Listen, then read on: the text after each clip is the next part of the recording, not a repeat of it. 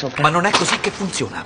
Paul, che succede qui? Signor Harrison, vorrei assistere alla riunione di oggi. E come mai? I dati cambiano molto velocemente. La capsula cambia, la massa, le zone di lancio, cambia tutto, ogni giorno. Io faccio il mio lavoro, voi assistete alle riunioni, io ricomincio da capo. Al lancio mancano poche settimane. Non abbiamo ancora i calcoli esatti. E perché non può assistere? Perché non ha l'autorizzazione, Al. Per poter fare il mio lavoro in modo efficiente devo avere tutti i dati e tutte le informazioni non appena disponibili. Devo essere lì e sentire insieme a Le voi. riunioni non sono aperte ai civili, richiedono la massima autorizzazione. Io sono la persona migliore per presentare i miei Ma calcoli. intendi signor mollare, vero? No, non mollerò. E, e poi, e poi è una donna, il protocollo non ne prevede la presenza. Ok, questo l'ho riunioni. capito, Paul.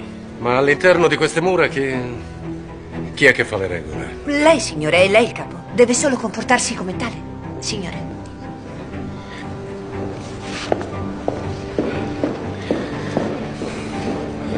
In silenzio. Grazie. Buongiorno. Signori,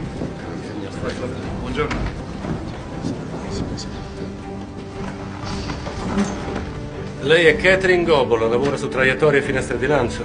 Il suo lavoro è pertinente alle procedure odierne. Vieni. Si può calcolare il punto di soglia? Sì, in teoria, signore. Dobbiamo essere oltre la teoria a questo punto. Riusciremo a calcolare il punto di soglia con queste informazioni. E quando accadrà esattamente? Catherine, vuoi provarci?